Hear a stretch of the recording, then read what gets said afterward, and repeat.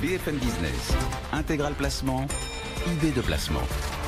Sur les marchés, les ETF ont de plus en plus de poids, ils pilotent, ils influencent de plus en plus les grandes tendances. Vous-même, particulier, pouvez profiter des ETF et d'autant que, d'autant que les ETF euh, bien, sont disponibles pour tous un chacun, mais en plus à frais bas. C'est-à-dire que quand vous investissez dans un fonds actif avec des gérants bah, souvent ça vous coûte assez cher. Les ETF coûtent eux moins cher aux particuliers. On va en parler avec Hugo Bompard, cofondateur, directeur scientifique de Nalo. Bonjour. Bonjour. Nalo d'abord, qui êtes-vous Nalo? Alors Nalo c'est une fintech. Euh, nous on fait, euh, en fait on est une plateforme de conseil et de gestion du patrimoine financier. On a développé une technologie, des algorithmes qui permettent d'avoir un suivi permanent et sur mesure des portefeuilles de nos clients. Et nous on utilise justement ces fameux ETF. Alors voilà. D'abord pour euh, que tout le monde comprenne, les ETF sont accessibles à tous. On va en parler. Vous nous direz comment mais c'est quoi un ETF bah Déjà, un ETF, c'est un objet euh, bien identifié, puisqu'il s'agit en fait euh, d'un fonds d'investissement. Alors, c'est un fonds d'investissement qui a quelques particularités.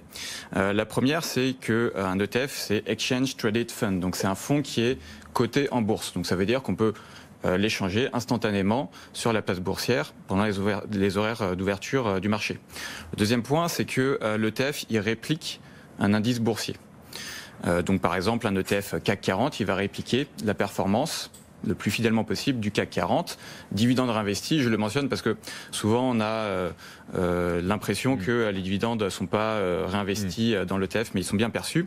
Et troisième point, vous l'avez mentionné, c'est que l'ETF, il a des frais qui sont largement réduits par rapport à ceux de la gestion traditionnelle. Et alors on le disait, il sont désormais massifs. Ils pèsent d'un poids déterminant dans l'évolution des marchés financiers aujourd'hui, les ETF. Alors oui non. Il faut, euh, je pense, sur ce point, différencier euh, le marché américain du marché européen.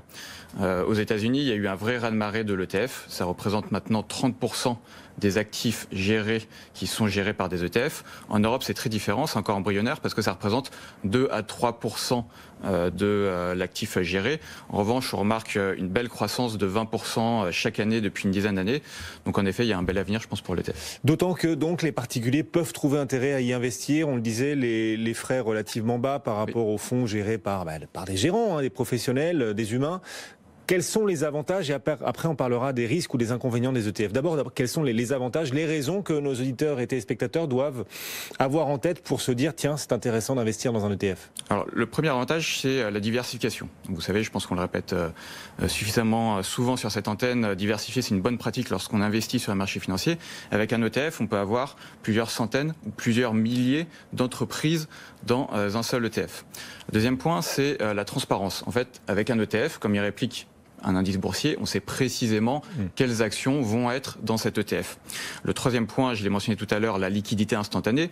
Là où avec un fonds traditionnel, il faut attendre J plus 2, J plus 3 avant que l'opération se fasse, avec l'ETF, c'est instantané. Euh, on en a parlé des frais, donc je vais détailler peut-être un petit peu. Euh, un frais de gestion euh, en frais, euh, la gestion traditionnelle, c'est entre 1,5% jusqu'à 2,5% de frais de gestion annuels. Avec un ETF, on est à 0,3% en moyenne et on peut descendre même à 0,10% et en dessous pour certains ETF. Donc ça veut dire qu'on est sur une échelle de, frais qui est 5 à 10 fois inférieure avec les ETF. Parce que les ETF se contentent de répliquer un sous-jacent, un indice et donc mécanique. voilà. Il y a, moins d'engagement des gérants là pour le coup que euh, dans les autres fonds. Hmm. Euh, ensuite se pose la question de la performance. Parce que forcément, c'est un, point crucial. Et euh, sur ce point, je vais peut-être m'arrêter quelques instants pour rappeler que finalement, l'indice boursier, l'évolution du marché, c'est la résultante des positions de tous les gérants du marché. Donc, grosso modo, on peut se dire qu'il y en a 50% qui font mieux que le marché et 50% qui font moins bien. Mais ça, c'est avant d'avoir retiré les frais. Or, comme on l'a dit tout à l'heure, les frais de la gestion traditionnelle, ils sont importants. Et donc, euh, une fois les frais déduits, on remarque que chaque année, c'est à peu près 20% euh, des gérants traditionnels qui surperforment le marché. Mais ça veut dire aussi que c'est 80% qui sous-performent.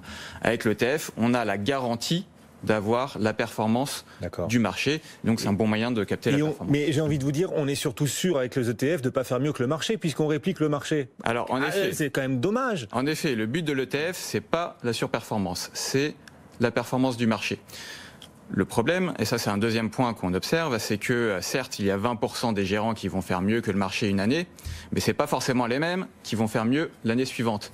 Et donc finalement, faire le choix de l'ETF, c'est faire le choix de la stabilité hmm. et de la performance. Ce que vous dites, 20% des gérants font mieux que le marché chaque année, c'est une statistique. C'est une statistique, oui, tout à fait, oui. C'est une statistique. Il y a plusieurs études qui montrent justement l'intérêt euh, de la gestion qu'on appelle gestion passive par rapport à la gestion active. Bon.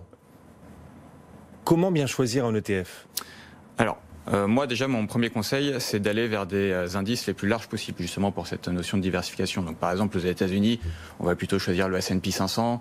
Euh, en Europe, on va plutôt choisir le stock 600. On va éviter aussi les ETF matières premières parce que c'est très volatile, et aussi les ETF avec ce qu'on appelle effet de levier, parce que là, ça peut avoir quelques mauvaises surprises. Ensuite, ce qu'on va regarder quand on choisit un ETF, c'est sa qualité de réplication de l'indice, vu que l'objectif, c'est de répliquer au mieux l'indice boursier. Et donc, euh, à ce niveau-là, il y a deux euh, unités de mesure principales qui sont la tracking différence, qui va regarder au jour le jour la différence de l'ETF par rapport à l'indice, et puis la tracking error, qui est sur le long terme, le décalage entre l'indice et l'ETF. Et à mon avis, c'est celle-là qui est la plus importante pour les investisseurs de long terme. Quelques-uns des critères que vous pouvez regarder. En quelques mots, il nous reste juste quelques secondes. Les, meilleurs, les ETF qui marchent le mieux, qui affichent les meilleures performances, quels sont-ils?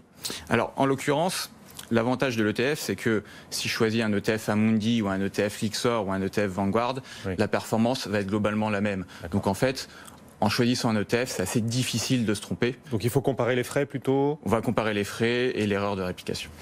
Voilà, et on peut intégrer les ETF dans son PEA et dans l'assurance vie aussi, dans les unités de tout compte. À, hein. tout à fait, ça c'est tout à fait possible. PEA, assurance. Alors PEA, certains ETF, assurance vie, tous les ETF sont admissibles. Par contre, ça va dépendre de la politique du courtier et de l'assureur qui va vous proposer ou non des ETF. Merci beaucoup Hugo Bompard, cofondateur, directeur scientifique de Nalo, hein, l'une de ces nombreuses fintechs qui poussent sur le marché. Merci beaucoup à vous, à bientôt. Plus 0,1% pour le CAC, 5246 points. On va le passer au crible d'une salle de marché, cet indice, dans un instant, avant d'évoquer les grands thèmes qui font bouger la tendance au cœur du face-à-face. Cyril Collet, Frédéric Rollin sont en plateau, à tout de suite.